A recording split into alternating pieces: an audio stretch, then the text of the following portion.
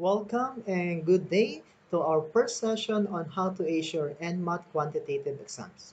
By the way, so NMAT is actually the National Medical Admission Test.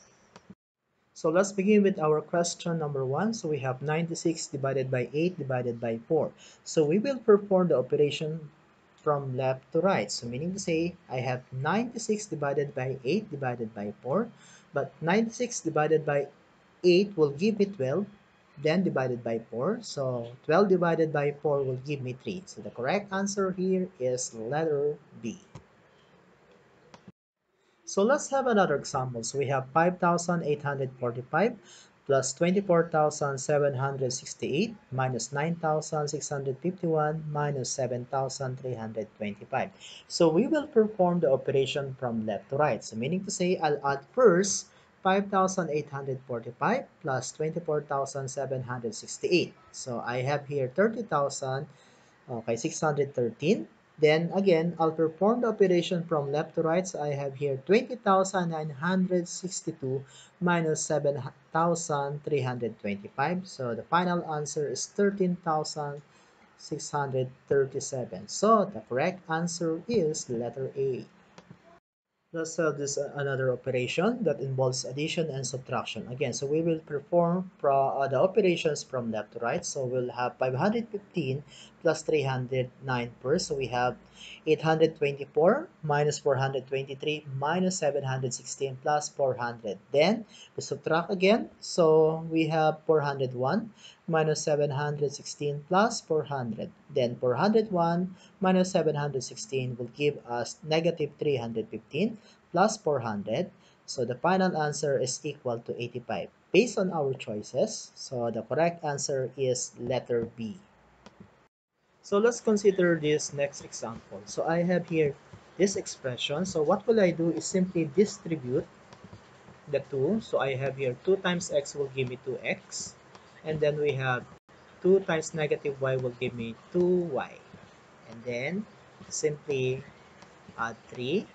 Since this is actually the expression x plus y and the okay, operation outside the expression is positive, so I'll simply copy x plus 3y. There. Then, I'll distribute the negative 2. So I have negative 2 times x will give me negative 2x. And negative 2 times positive 1 will give me negative 2. So observe that I'll come up with this expression. And I, I can remove the positive 2x and negative 2x and I can combine negative 2y plus positive y or positive 3y. So I'll have here positive y. Then I have 3 minus 2, so will give me positive 1. However, okay, I have here x. So I'll just write here positive x. Okay. Or I can simply re rearrange this as this expression x plus y plus 1. So the correct answer in the choices is Okay, given 1 plus 6 over x plus 9 over x squared, of course, I do not know what to do this one yet, but look on our choices. In our choices, we have the denominator x squared plus uh, a, and this one is another x squared. So meaning to say that will give us the hint for our denominator. Take note that I'll extract, okay, the LCD of 1 and 6 over x plus 9 over x squared. And since this is x and x squared, so therefore the LCD is x squared because this is the high, okay, the variable that has the highest, okay, exponent. So, therefore, my LCD is actually x squared. Then again, I'll transform this one into x squared plus 6x plus 9 all over x squared. How? Because x squared divided by, okay, the denominator here is 1 is 1, times 1 will give us x squared. So x squared divided by x plus 6 will give us 6x, and x squared divided by x squared times 9 is equal to 9. But take note that I can factor this as a perfect square number, meaning to say I can extract the root of x squared, which is actually x, and the square root of, okay, the square root of 9 is equal to 3. By inspection, to get the middle term, I'll multiply x and 3. So that will give us 3x and always multiply by 2. So therefore, 2 times x times 3 will give me 6x. So therefore, I can rewrite the numerator as x plus 3 squared all over x squared. Based on our choices, so the correct answer is actually letter D. Okay, next we have 4 square root of 3 times 5 square root of 3. So the very first thing that we will do is actually multiply the numbers 4 and 5 first, and then multiply the square root of 3 times the square root of 3. So I have here 4 times 5, I have 20 times square root of square root of 9. But take note that the square root of 9 is actually 3. So I have 20 times 3, so I have 60. Based on our choices, so the correct answer is letter C. Let's have another example. So I have here a cube of a binomial. So I have x plus y cube plus x minus y cube. So take note that if I'll take the cube of binomial, it will have four terms such that the first term is the cube of x and the last term is the cube of okay y. So it will result to Okay, x cubed. This is the first term and this is the last term. Now, so to get this 3x squared y, I'll multiply the square of x, uh, x and y, so it will result to x squared y times 3. So we have here. Next, so on the third term, I'll multiply x and y, so I have, okay, x, but take the square of y, so, and multiply by 3, so it will result to 3x y squared. Then, we will do the same also here. It is almost similar on our first expansion of a cube of a binomial. However, since this is subtraction, so it will result to alternating sign, starting with a positive, okay, positive here, then we have negative, positive, and negative. But if I want to remove the parenthesis here, guys, since this is positive, so it will result to, okay, this expression. Okay, nothing changed in our signs inside the parenthesis. Then, I can remove the opposites. So I have 3x squared y minus 3x squared y, so that is equal to 0.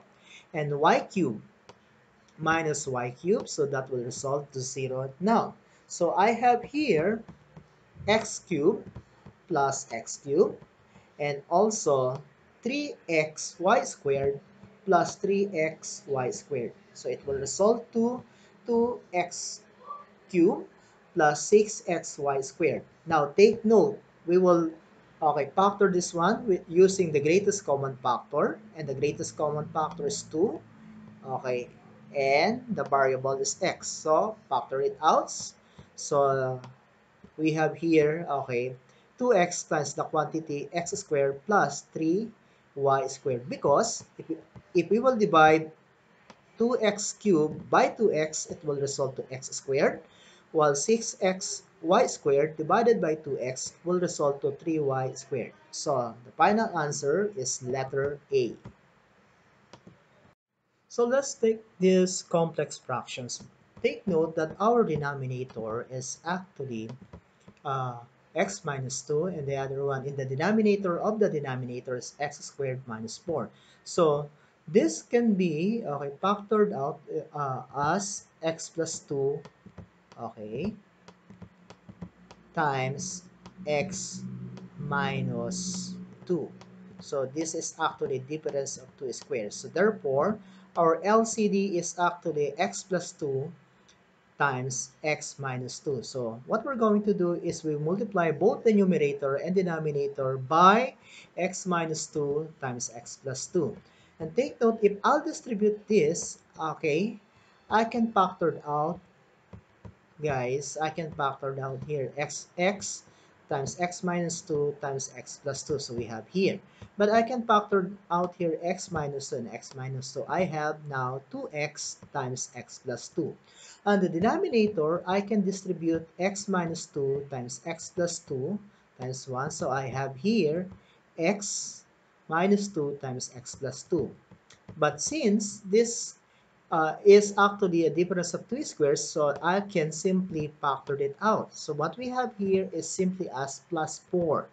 Then next, if I'll distribute x plus 2 times x minus 2 times x, it will come up with, okay, difference of two squares, x squared minus 4 times x, plus, I have now here, okay guys, 2x plus x plus 2. Then again, I'll distribute x to x squared minus 4 and so on. So I have here guys, okay, x cubed minus 4x plus 2x squared plus 4x all over 2. But take note that I can remove here negative 4x and positive 4x. So it will result to x cubed plus 2x squared all over x squared. But then again, if you will look closely, so the common factor is actually x squared. So I factored out the numerator. So, okay. So I have here x squared times x plus 2 because, okay, x cubed divided by x squared is x. And 2x squared divided by x squared will give me, okay, positive 2 all over x squared. Then, Remove the greatest common factor, so the answer is equal to x plus 2. Based on our choices, the correct answer is letter D. So let's take this complicated law of exponents problem. So I have here 25 raised to negative 1 plus 25 raised to negative 2 divided by 25 raised to negative 2. So take note that we will use the factoring here. Okay, since our exponent here is negative 2. So this is our now, okay, the common factor. So I'll factor it out. So I have 25 raised to negative 2. So take note that negative 2 plus positive 1 will give us negative 1 here. Since 25 raised to negative 2 divided by 25 raised to negative 2 will give me 1. But recall that 25 raised to 1 is actually 25. Then, I can factor out 25 raised to negative 2 and also as 25 raised to negative 2. So, it will result now to, okay, this is actually 25 plus 1 will give me 26. So, the answer here is letter A. Let's consider this complicated um, law of exponents exercise. So I can rewrite this expression as 3 raised to n plus 2 all over 3 raised to n plus 3 minus 3 raised to n plus 1. But take note that, okay, I can expand 3 raised to n plus 2 as 3 raised to n times 3 raised to 2 all over 3 raised to n times 3, uh, 3 cubed minus 3 raised to n times 3 raised to 1. But I can regroup, okay, or again, factor out 3 raised to n in the denominator. So what we have here is 3 cubed minus 3 raised to 1 in the denominator. Then I can factor out 3 raised to n. Okay, so what we have here is actually 3 squared, which is actually 9. Then 3 cubed is 27 minus 3. So I have here 9 all over 27 minus 3.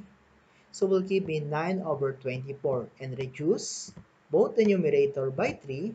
Okay, so this is 3 and 24 divided by 3 will give us 8. So the final answer is 3 over 8. So therefore, based on our choices, it is letter C.